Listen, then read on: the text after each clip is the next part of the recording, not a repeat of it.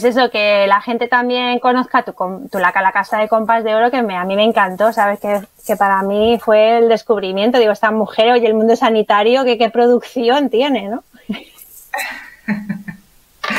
bueno, pues tengo una primera novela que no es. Sí, yo, pero yo con la que te conocí, sí, sí, lo sé, lo sé. Lo que pasa es que como con la que yo te conocí, con la que tuve contacto contigo realmente fue con la Casa de Compas de Oro, pues siempre hago ese guiño de por qué, por qué estáis aquí hoy, ¿no? Y por qué os, os voy cogiendo. Digo, oye, primero los que se dejan y luego vamos a por los que son más difíciles que se dejen, porque claro.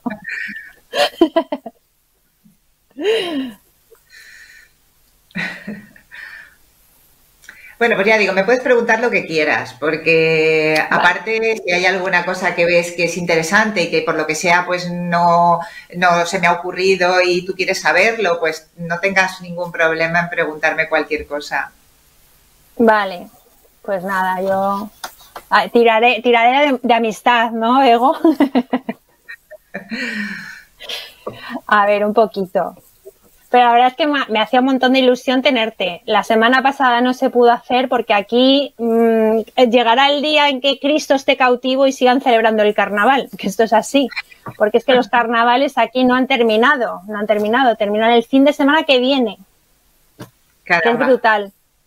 Sí, Entonces, sí, sí. como la emiten constantemente los carnavales de las distintas localidades, pues el pobre David eh, la semana pasada llegó afónico perdido y fue imposible porque seguía grabando fragmentos de, de los carnavales de la zona sur. Entonces, nada, no pudo ser.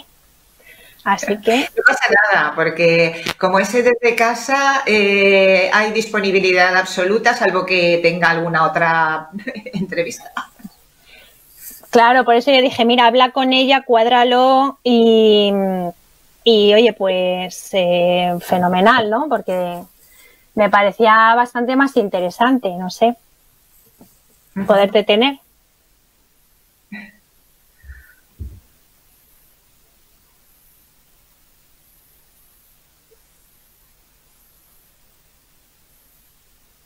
Es que me está hablando por WhatsApp, perdóname nos ha hecho una pirula, pero, pero ahora le digo, no le digo que corte. Dice, es que, dice, eh, si quieres te pongo a grabar con ella. Digo, pero ¿qué dices? Si estamos aquí a otras cosas. Esto se avisa. Ah, dice, luego se corta, dice que llego en 10 minutos. Bueno. bueno, digo yo, en el, en el Ateneo de Valencia la vas a presentar que es tu ciudad o qué? Bueno, en la, eh, aquí ya lo he presentado. Aquí voy a tener mucho, muchas cosas eh, Por eso pendientes. te digo. Y, y, muchos proyectos también pendientes con el tema de Cervantes. Ya también te contaré porque eh, estoy viendo a ver de eh, que Valencia sea una ciudad cervantina, porque como hay Claro. una serie de ciudades que están asociadas precisamente porque tienen algo en común, eh, bien porque no solamente porque ha pasado por ahí el, eh, Cervantes, por, por esas ciudades, sino simplemente también porque eh, su obra las, las eh, o sea, cuenta cosas referentes a, a, esas ciudades y entonces pues se han unido, hay una red de ciudades cervantinas y yo creo que Valencia uh -huh. sea una ciudad cervantina que tiene motivos más que suficientes. Oye, ¿te han hecho alguna propuesta de Instituto Cervantes? Porque ya que estamos puestos, oye. Eh, todavía no sé si es que se nos han enterado que, que está la novela, pero yo espero que me digan algo. Porque además del sitio, yo estuve en la presentación hace años, cuando el premio Planeta, cuando fue mm, con Sócrates, con el asesinato de Sócrates y Dolores Redondo.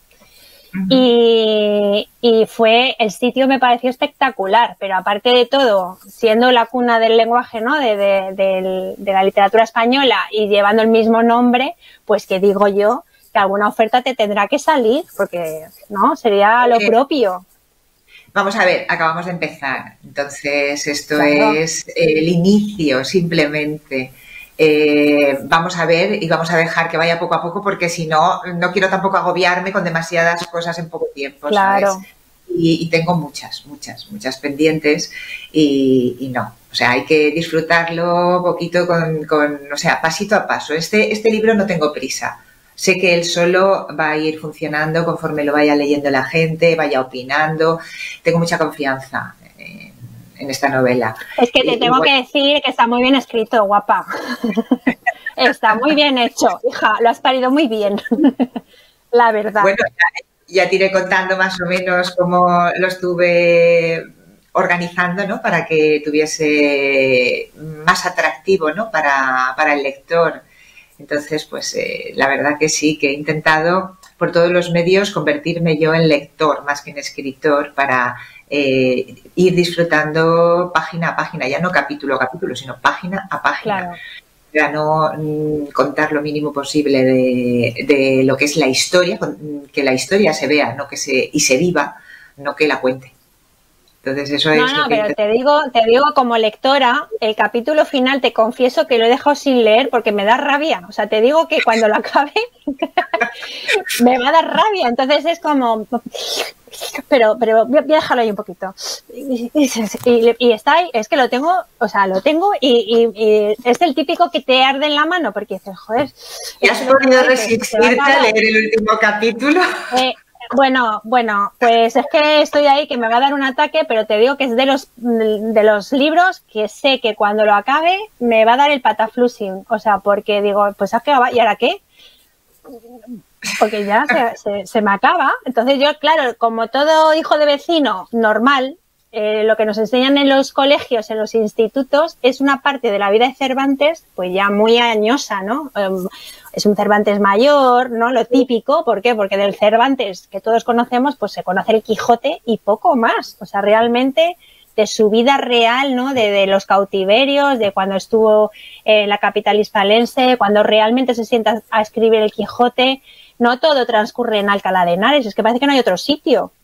Y, Cervantes se movió mucho y muy denso todo. Entonces, eh, claro, dices tú, joder, me has descubierto primero a una persona, no al personaje, a una persona totalmente desconocida, ¿no? Que el pobre lo debió de pasar chunguísimo, porque además en aquella época, eh, pues claro, el siglo XVI, mm, eh, quiero decirte, pues, pues, fatal, ¿no? O sea, 17, 17, 17 fatal. Y bueno, las, eh... Era finales del 16 porque era 1580. O sea, bueno, fue 1575 cuando en el 71 la batalla de Lepanto, que tenía 24 años. En el 75 es cuando lo capturan y entonces tiene 28 y llega a Valencia con 33. Pues eso te digo que encima en la parte más florida de su juventud, ¿no? de su vida, que es cuando peor lo pasa, pues dices, tu madre mía, te cuenta, claro, la batalla eh, ya quijotesca, pues cuando ya el, pobre no le queda otra cosa que reposar, porque es que eh, este pobrecito eh, era como el premio, ¿no? Dice, pues ahora ya que estoy en otra vida, en otro plano, y ahora pues me siento y escribo, pero es la parte que se conoce, todo lo demás, que además es que tiene un meollo ahí, la cuestión mollar del asunto es bien gruesa, densa, y, y pues encantada de leerla porque te la lees como si no te has enterado porque transcurre tan rápido, súper ágil, ¿no? Y, te lo, y es que te lo bebes, ¿no? A colación del proyecto, pero, pero es verdad, ¿no? Dices, jo, es un suspirito que mira que, oye, es un tocho bien hermoso, que a los de históricos se encanta esto de los vendo al peso, pero oye, al peso ligero, porque se, es un paseo con él. Y la verdad es que me ha encantado. Y no porque seas amiga y, y, el cariño que te tengo, pero es que, hija mía, qué bonito me lo has hecho. la verdad. Pues me alegro un montón. La verdad es que eso es lo más importante. O sea, una vez has eh, descargado todo lo que llevas dentro, que estás concentrando eh, toda esa energía para trasladarla al papel y de repente pues tienes que ver eh, cómo responde el lector. Porque a veces, pues, no sé, a veces no se atreven a decirte la verdad de lo que opinan de un libro y bueno, pues la verdad es que, bueno, todavía no he empezado a grabar, ¿verdad? No, lleva grabando desde el principio, pero cortará lo que quiera. Yo que sé, no, luego, no, ah. no, o sea, él va a cortar, tú tranquila que no. creía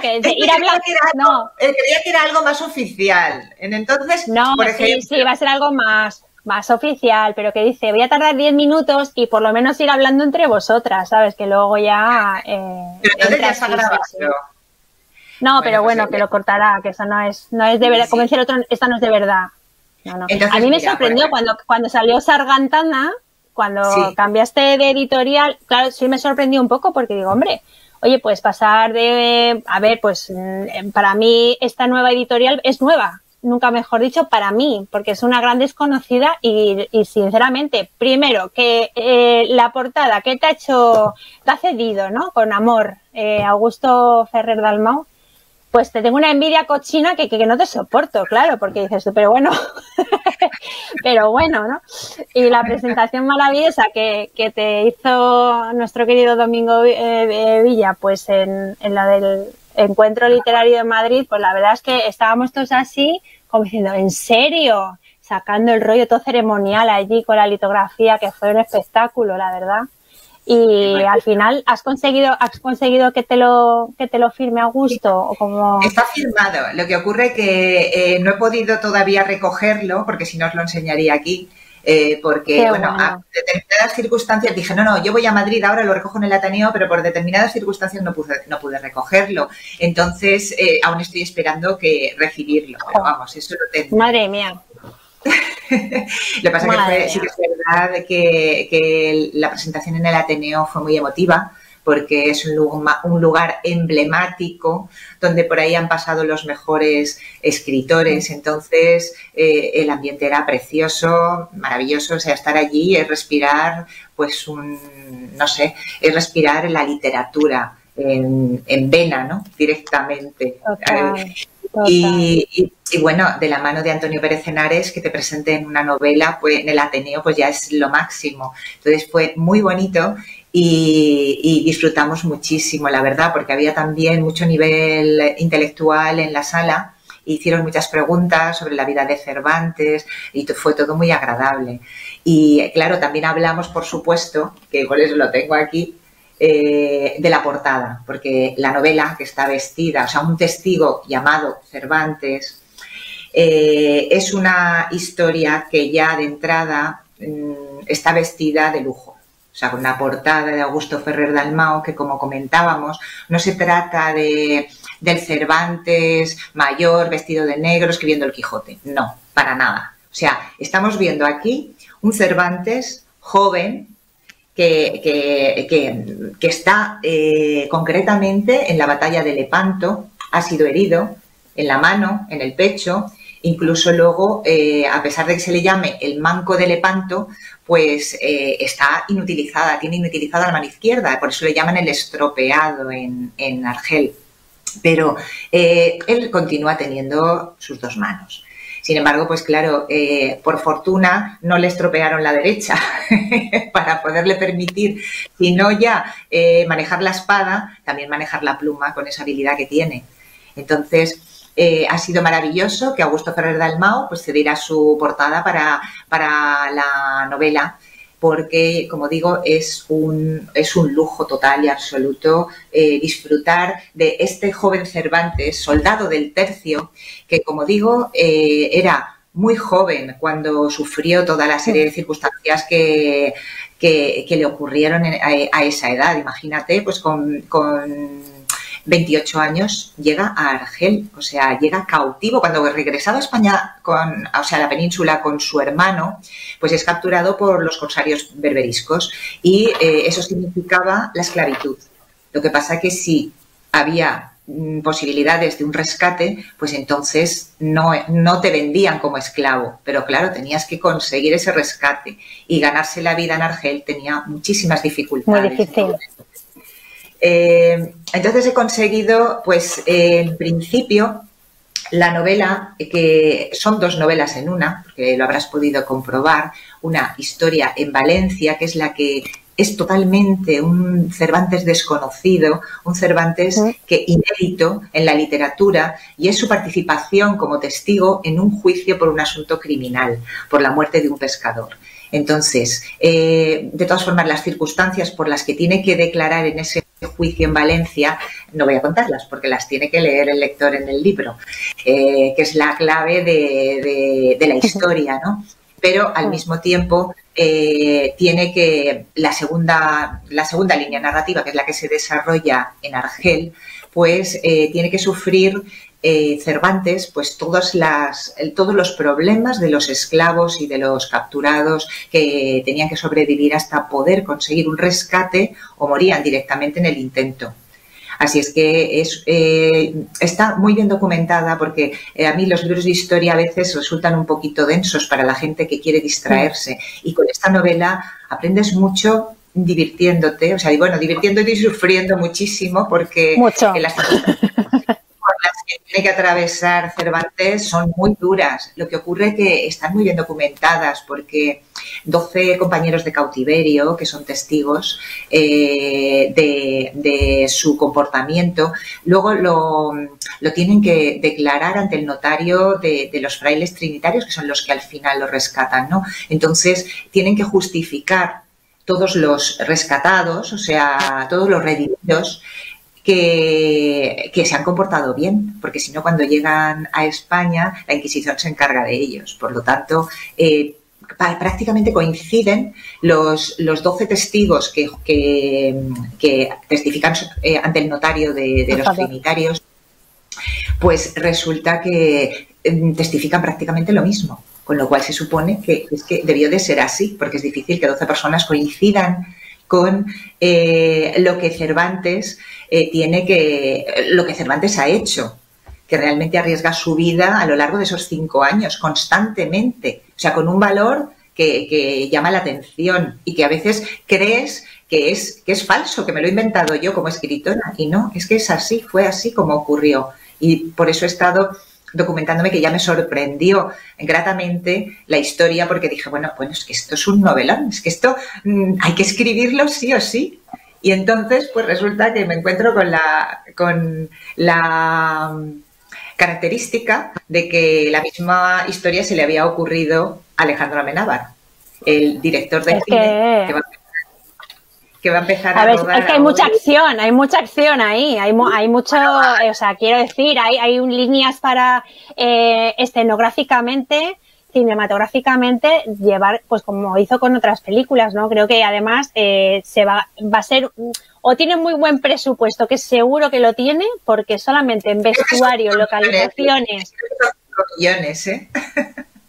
Brutal, brutal, ¿no? Entonces, pues, pues es sorprendente. Y, a ver, y yo te digo una cosa, siempre se ha contado, fíjate, historias de cautiverios y de tema de, esclavos desde el otro punto de vista. Siempre los esclavos de raza negra, eh, ¿no? El, opresor, el blanco. Entonces, en esta ocasión que nos llevas justo a la mirada completamente opuesta con otro, con otra cultura, otra religión, ¿no? Y que sean eh, los oprimidos, justo los que siempre han tenido fama de conquistadores, de opresores, eh, en, un chico tan joven, ¿no? Que podía haber tirado la toalla y haber dicho, pues aquí me que me maten y que me hagan lo que quieran, porque a ver qué hace yo aquí. Y sin embargo saca fuerzas de flaqueza, no solo fuerzas, sino que el tío arrampla con todo, demuestra lo que decías, un valor eh, inaudito, para los medios, la época que estaban y, las circunstancias a las que se ve obligado a vivir o a sobrevivir, porque eh, este chico sobrevive eh, eh, de, una manera, pues, pues, pues eso, digna de un libro y de una película. Entonces, ¿cómo cae, cómo cae el, el kit de la cuestión, cómo cae en tus manos? O sea, mm, esa firma, ¿cómo sale a la luz para que te llegue a ti y digas, ostras, esto es, esto es, yo tengo que escribir de esto? ¿Qué sucede ahí? Pues eh, resulta que un investigador aquí en Valencia, en el archivo del Reino de Valencia, encontró la firma más antigua de Cervantes en el papel original y era precisamente la declaración en el juicio por ese asunto criminal, por el asesinato del pescador. Entonces, a partir de ahí es cuando eh, digo, bueno, una firma no te dice tampoco nada, o sea, puede que no haya nada detrás interesante, pero es que en este caso era una novela negra, o sea, era una, era algo eh, inaudito, o sea, algo realmente es excepcional, es, sobre todo porque afectaba a un personaje universal como es Cervantes. Entonces empecé a buscar eh, a los personajes, viendo la acumulación de, declaraciones, porque eh, media novela, como hemos dicho, transcurre en Argel, en el periodo de cautiverio de Cervantes, pero en la otra mitad transcurre en Valencia, precisamente desde que bueno, se encuentra el cadáver, eh, cuando acusan a los presuntos culpables y todo cómo se va desarrollando en Valencia. Es un, proceso criminal que eh, es como realmente se desarrollaba en el siglo XVI en Valencia, donde eh, era por acumulación de, declaraciones. Entonces, eh, cada uno iba declarando lo que consideraba en su testificación y luego, pues, el ayudante de justicia criminal, que era el juez de mayor rango del Reino de Valencia, pues explicaba a los, a los jurados que era lo que, o sea, un resumen de lo que habían declarado, que normalmente como las la letra que está